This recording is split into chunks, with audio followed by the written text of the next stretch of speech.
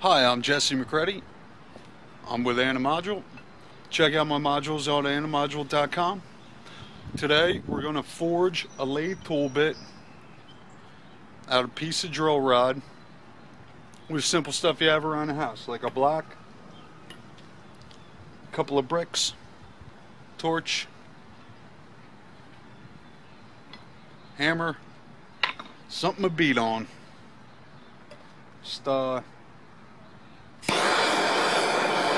heat it up until it's on. Yellow. Record. Oh, don't record me saying record. All right, we're getting there. Getting, getting warm. Do you see it turning cherry red? it. That's. Getting warm. And get it up orange, yellow.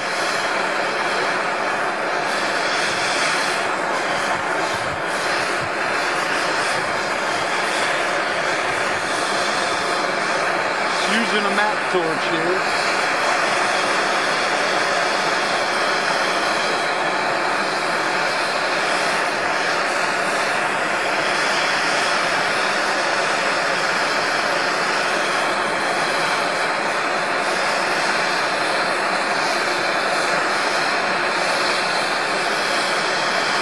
And that should be good enough to get us started. Let's get on over to the anvil. Yep. All right, we got a nice glowing hot. Gonna bend it over a little bit. Gonna flatten it out.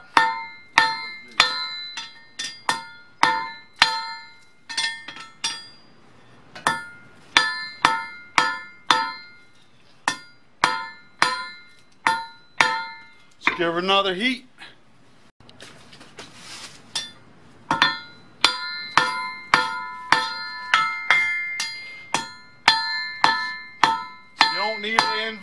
Just need something to beat on. You don't want to beat on concrete floor, you just set up a bunch of blocks if, you, if that's all you got. Yep. You still on top.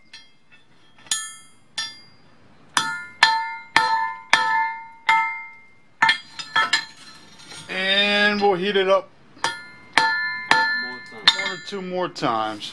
Yeah, that looks nice.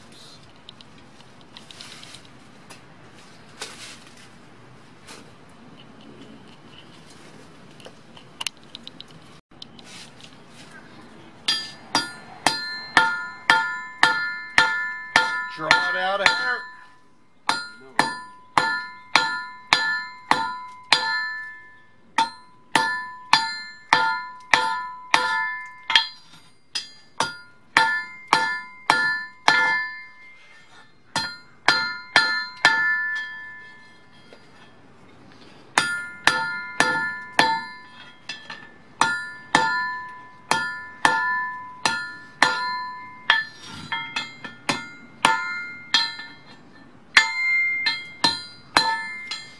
I swing like a girl. So,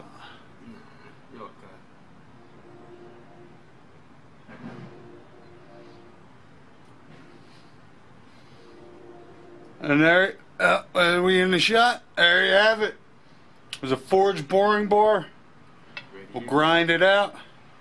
We heat treat it. See how it works on a lathe. All right, now we get the rough shape in, and we'll grind some more on the profile before we finally heat treat it, quench it, take it over to the uh, bench grinder.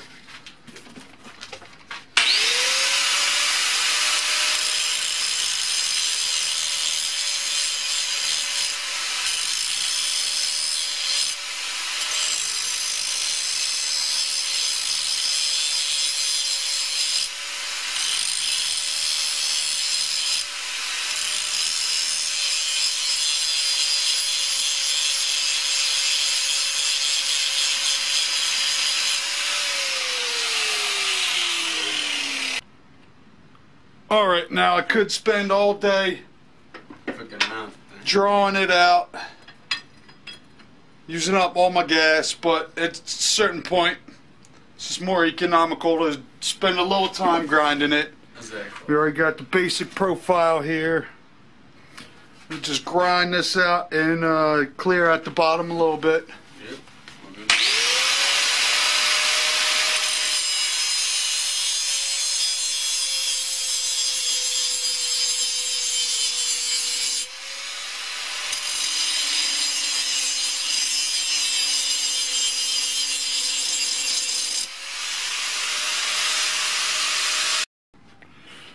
All right.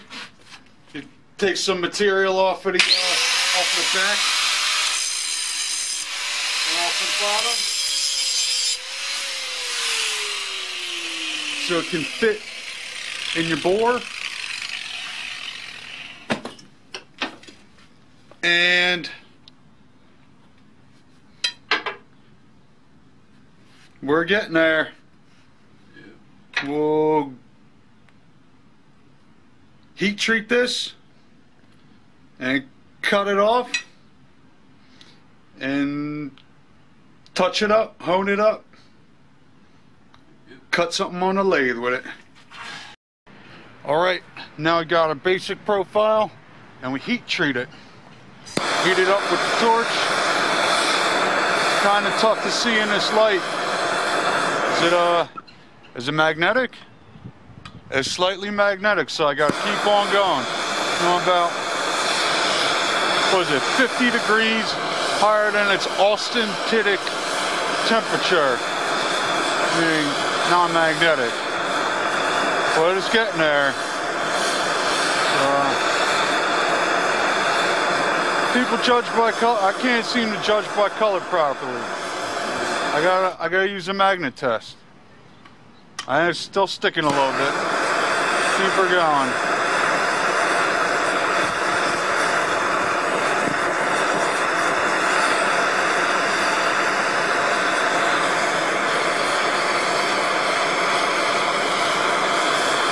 There you go. Starting to see some color there.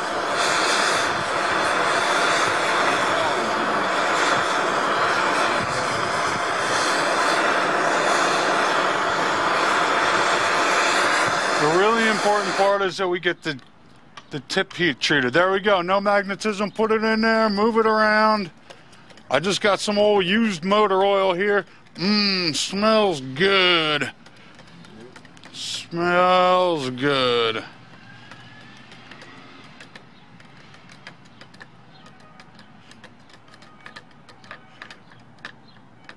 And it's not smoking when I pull it out. Not smoking when I pull it out.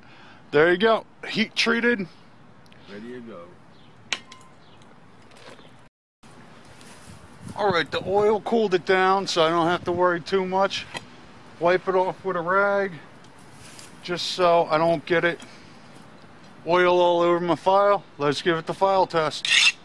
There you go. Skates right off like glass. And there you go. Now I take it over to the grinder, put the edges on it, and we'll cut on the lathe. Maybe I cut it off. Oh yeah, uh, I got to temper it first. But we'll do that after we put the uh, put the angles and stuff oh yeah. on it. Cool. So I got it cut. I took it to the grinder, sharpen up the edges, ground away the bottom and some of this far edge so she has room to maneuver inside the bore. All that's left is to temper it in my little tempering toaster oven. Temper it at 350. It'll leave it hard, but give it a little more resilience. And then she's ready to cut. Yep. All right. Instead of using the tried and true 30 year old toaster oven, I'm just going to try it with my torch. We're not making any production equipment here. So, we heat it up. Just a light straw and then quench it because it'll keep on heating until I get it into that oil. So heat it low and bring it on up.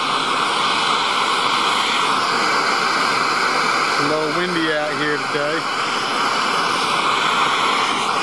There's a little blue on there, all right. Give it the quench, move it around.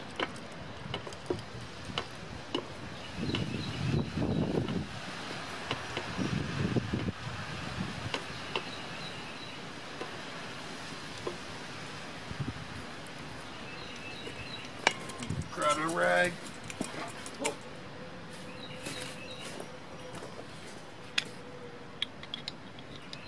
And can you see me in the camera? Grab a nice clean rag. Oh, look at that color on there. I don't know if you can see that, but that's right on. You heat it to a blue or purple, it gets a little softer. So that's going to be real hard. It's going to have a little resilience. It got darker than I wanted on the shank, but that is not critical. Hopefully, that's what I wonder, honestly, is the, uh, if the shank is soft, does it flex more? Like I've used mild steel for a boring bar. It has a tendency to flex a bit. But it may also be in my uh, compound rest. But anyway, so there you go. Here's how to forge a boring bar. Let's put her in the lathe and see how she does.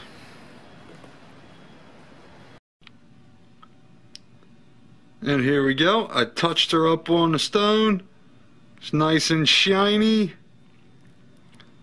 Nice and sharp. Let's uh give her a cut. Sorry my uh my camera stand busted in between this and the last one. So here we go. Oh, turning it the wrong way.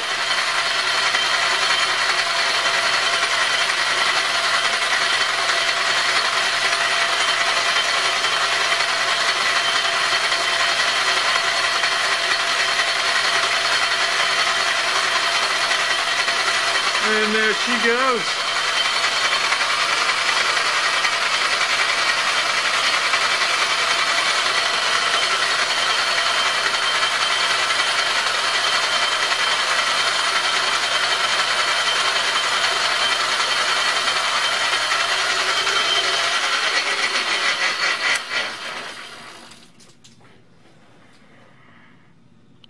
Is a thing of beauty.